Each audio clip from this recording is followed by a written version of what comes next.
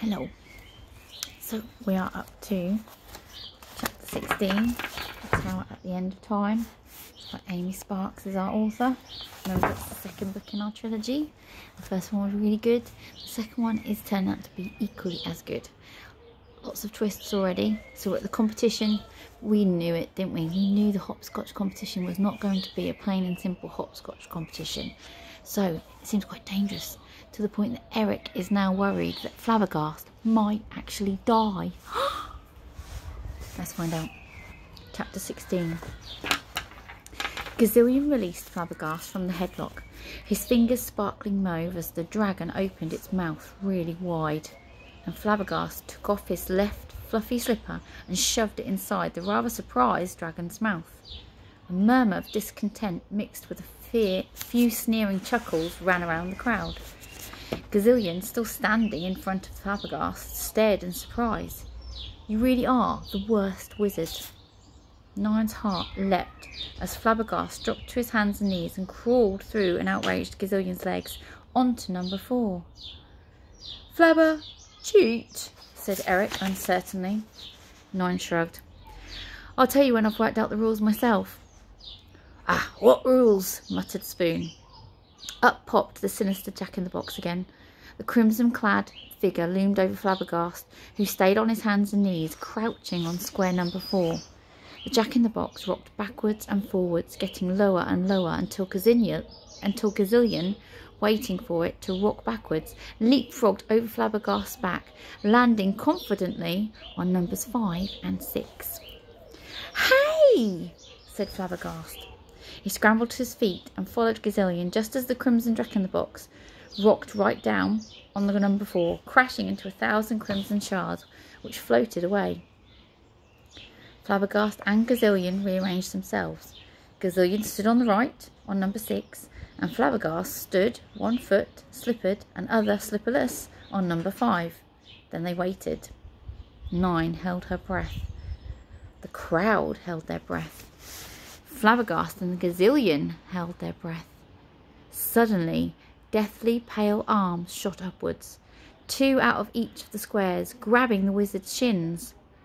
Gazillion began shooting magic at the hands that held him, and Flabbergast yelled as he turned and twisted, trying to shake it off. But the pale fists were locked tight. A third arm shot up from number five and grabbed Flabbergast's cloak.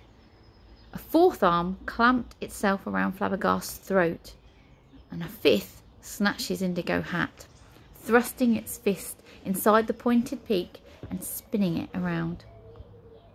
Ah, the lad's doomed, said Spoon. Flabbergast made a choking noise. His eyes began to bulge. Help me, he croaked, looking at Gazillion. Never, said Gazillion, zapping a mauve mitten onto one of the confused-looking hands attacking him. This is hopscotch, Flabbergast. Every wizard for himself. Eric dropped Nine's hand and covered his eyes. Panic in Nine's chest exploded into words. Oh, come on, Flabbergast! Flabbergast's fingers scrabbled desperately at the hand at his throat, finally prizing it free. He flung it to one side, but it started swinging back towards him.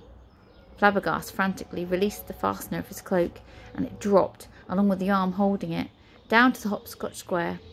The throat-grabbing arm was heading right for Flabbergast's throat again. Punch it! Punch it! yelled Nine, as several witches and wizards turned round to stare at her. Flabbergast swung his fist at the incoming hand and knocked it back down again. It woozily tried and failed to rise up again. Yes! Nine shouted out, as Eric peeped between his thick fingers. Flabbergast prized the hands from one of his shins, then gave it a really good kick, leaving it lying motionless on the ground. Ah, come on, lad, roared Spoons in Nine's ear. The judges on the platform looked at each other, confused and frowning. Where's his magic? Gazillion pointed at Flabbergast. This is all cheating.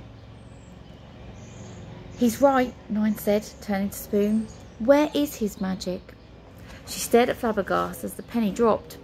I don't I don't think he's rusty. I think he's actually lost his magic altogether. Rules, said Ophelia from the judge's table. The message witch sighed, unrolled the scroll and began to read. Two of the white arms on Gazillion's square began slapping each other and trying to steal the mitten. Taking this chance, Gazillion leapt into, onto number seven, and promptly the square turned to bog-like sludge, and he disappeared up to his waist. Come on, Flabbergast, called Nine, as the wizard prized the other hand from his shin and kicked it to the ground. Yes! Eric slowly dropped his hands from his face and gave a wonky, tusky grin. Flabbergast's hat still spun on the final hand, but Flabbergast ignored it. Instead, he placed his hands on Gazillion's turnip-haired head and leapfrogged over him this time, landing on eight and nine. Yes, said nine. Then her face fell. No! A huge wall of blue fire whooshed up straight in front of him. And on the line, where the number 10 box joined the 8 and 9, Flabbergast stood motionless, staring at the flame. Meanwhile, Gazillion was summoning mauve upright poles from his fingertips and placing them either side of him. Gazillion grabbed the poles and heaved himself out of the sludge. He stepped forwards onto 8 and 9 behind Flabbergast and shoved him towards the flames. Oi! yelled 9 from the side. Flame big, said Eric, wringing his tail. Flame bad. Gazillion's bad, said 9. Flabbergast shuffled back, almost pushing Gazillion off the squares. Gazillion reached his arms either side of Flabbergast and shot mauve sparkly threads towards the flame wall. You shall not succeed, Flabbergast, the unworthy, he bellowed. A plate-sized mauve-fringed hole was burning into the blue frame. and I could just see the number 10 through it on the ground. The final number. Come on, Flabbergast, she yelled. You're nearly there.